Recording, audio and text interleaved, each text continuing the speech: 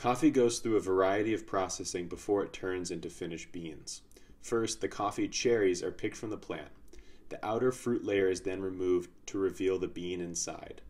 The beans are then washed, sorted, and roasted to produce finished coffee. Green tea leaves, on the other hand, are picked every year according to the harvest. The youngest leaves are typically used to produce the sweetest flavor. The leaves are then steamed and rolled into a variety of different shapes. Unlike coffee, most green tea is unroasted. The complexity comes not from the roasting process, but more nuanced factors such as the shading of the tea plant, the steaming time, and the variety of the plant used. These factors are influenced by the natural environment as well as the skill of the farmer. Even something as simple as the ratio of stems to leaves can create infinite possibilities when it comes to tea taste.